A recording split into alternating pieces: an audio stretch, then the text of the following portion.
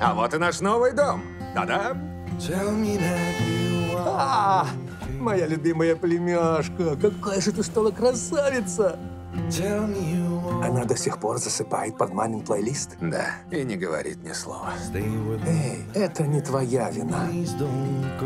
Подойди, посмотри. Это не опасно? Самый опасный зверь — это человек. Миленький, да? Как его зовут? Секрет?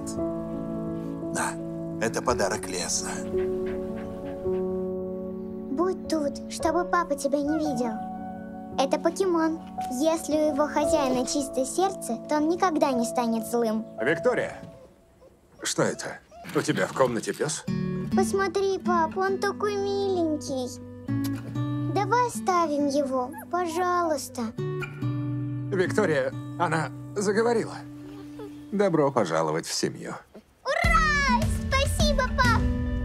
Ее прямо не узнать. Секрет, скажи привет. А он часто пакостит? Как-то он погрыз мои тапки.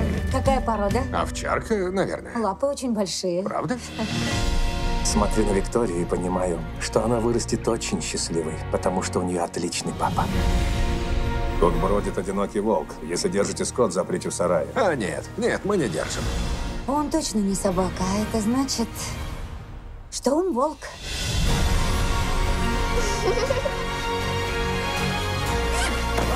Это хищник. Он не злой, он мой друг. Когда тебе угрожают, ты защищаешься. Так устроен мир.